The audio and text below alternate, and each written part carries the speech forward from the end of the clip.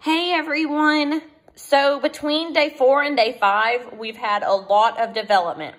Remember on day four, Saturday, our eyes first appeared so we could see them, or so our chick could be able to see. We can't see the eyes yet. But on day five, Sunday, the elbows and the knees are starting to show up. So we can see his eyes and we can see his little chicken wings. So he's starting to really develop. So remember, it goes really fast. We've only got 21 days and we're already on day five.